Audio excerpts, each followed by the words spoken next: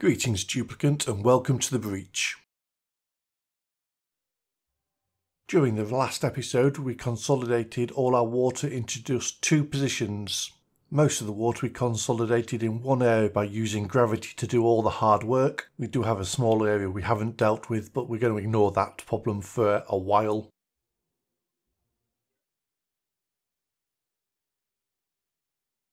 Today's plan is to dig out the starting biome upgrade outhouses to lavatories, use gravity to tidy the base, build permanent Great Hall barracks, set up a kitchen area, supply power from coal generator and capture CO2.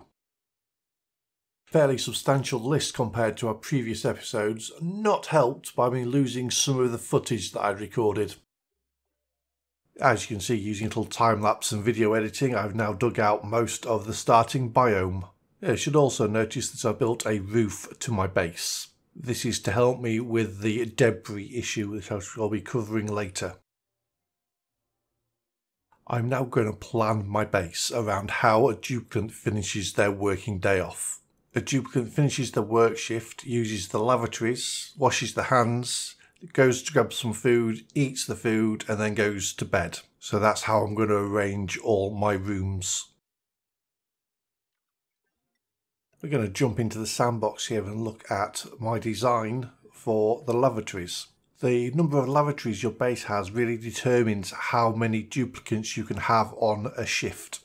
So I'm going to create a room with four wash hand basins, four lavatories, which give the maximum size a washroom can be and give plus two morale.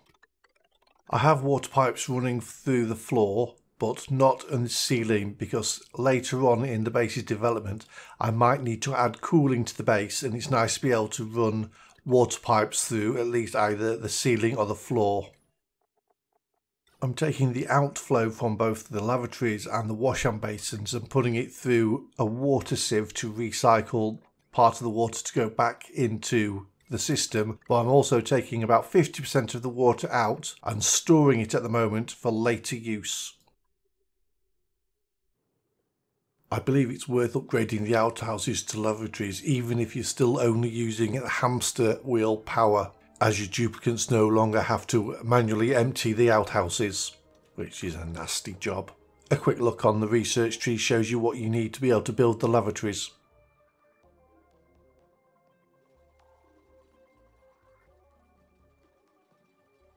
I'm now deleting the old outhouses and I have a little system set up to take the polluted water from the outhouses and feed it into my new lavatory system.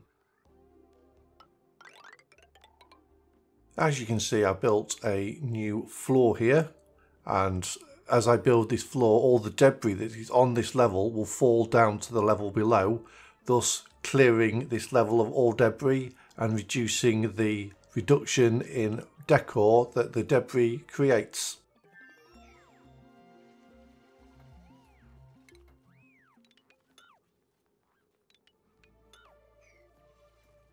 If you look carefully at this area, I have some bottles of polluted water that are off-gassing polluted oxygen into my base. This is not a good idea, but that's why I built up the little section at the top to empty this polluted water into my lavatory system.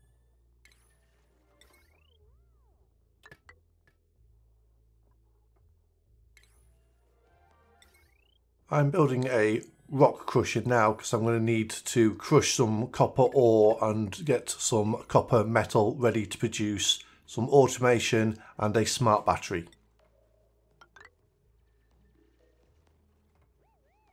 As you can see I've circled the small amount of coal that you get in the starting biome.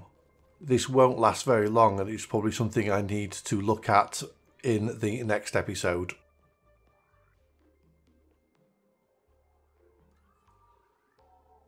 Well, that's a very nice clean floor to build a room on, which I will do in a second. At the moment, I have a lot of jobs that need doing and not really enough duplicants to get everything done efficiently. So you just need to let the duplicants catch up with the workload.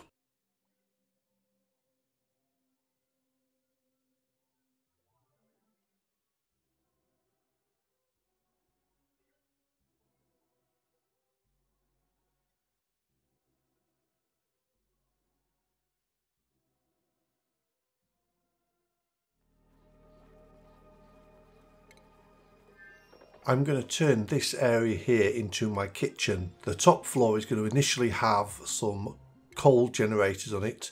This will remove the need for the hamster wheel in my base. It will also supply carbon dioxide for storage of food. I will also install the grill and the micro musher, you know, just in case something goes wrong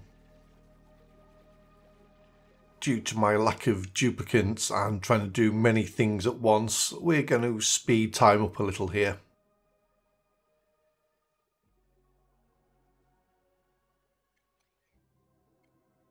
The plan is to have this floor as my Great Hall. We'll have here as an overflow if I need a second Great Hall. And below that I'll build the barracks.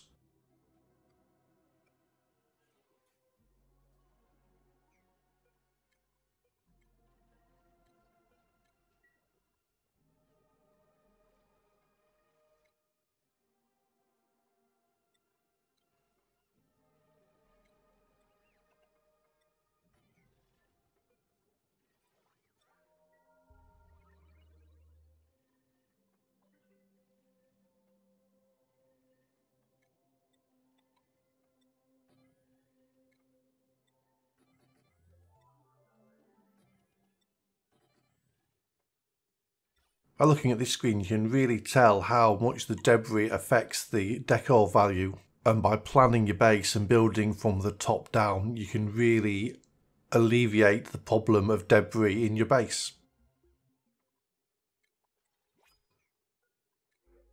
Not having a great deal of luck on the choice of duplicants I'm getting at the moment.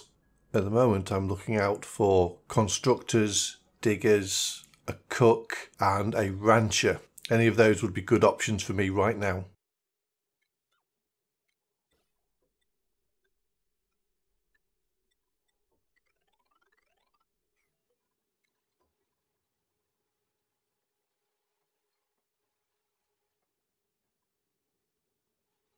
I may be a little eager here in deconstructing my old Great Hall until the construction on the new Great Hall has completed.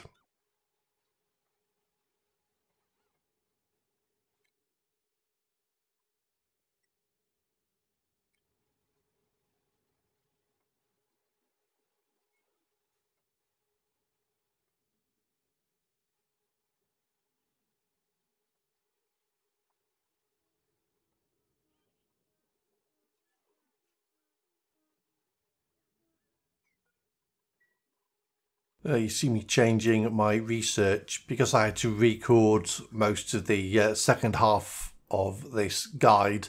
I'd forgotten what I'd researched and what I still needed to research. Oops.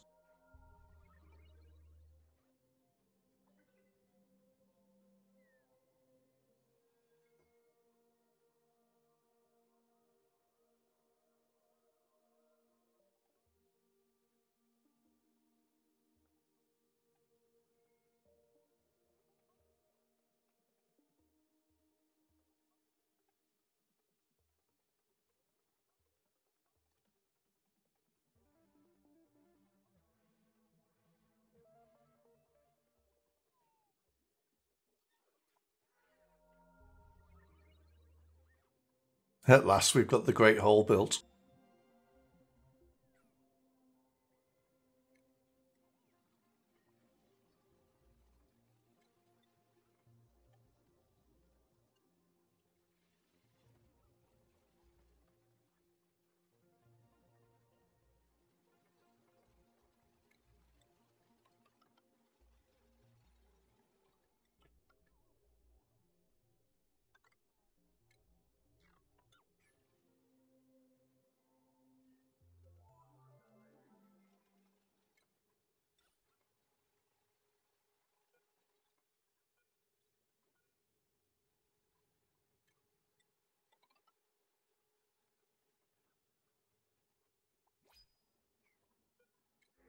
I'm really feeling the need for another duplicant now. So Marie it is. She's got suit wearing, supplying and rocketry, but can't do research, so she won't be the best pilot out there.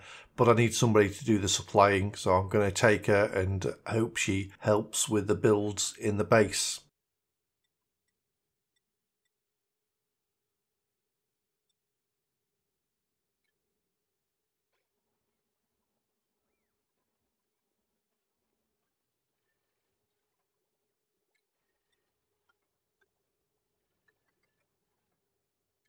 The coal generators will produce carbon dioxide, which is heavier than air and will sink. It will be collected and provide a sterile atmosphere for the storage of the food in our refrigerators.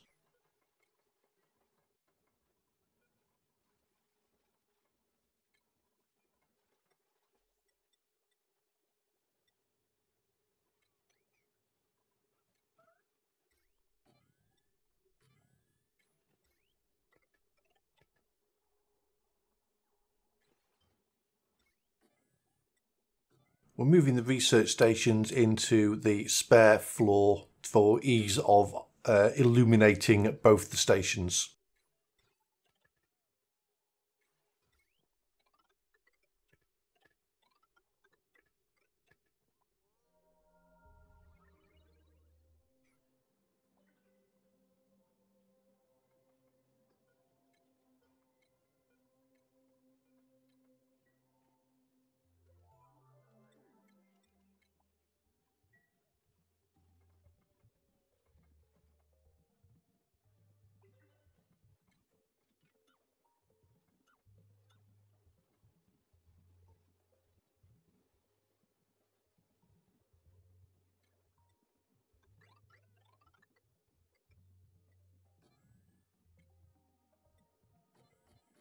And here we are finally getting round to building a permanent barracks.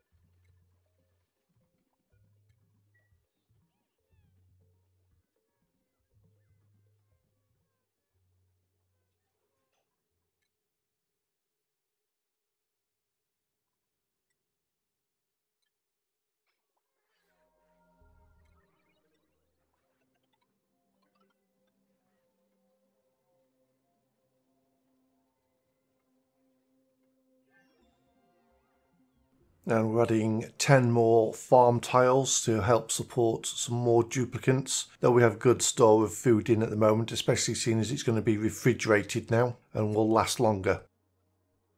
I've completed everything I wanted to do in this episode. The base is now powered via coal generators. We've got lavatories installed and we've got permanent structures of barracks and the Great Hall. The debris problem has been sorted out by the use of gravity, and we are now in a position to actually leave the starting biome and explore the local area. Thank you for watching, and I'll see you on the other side.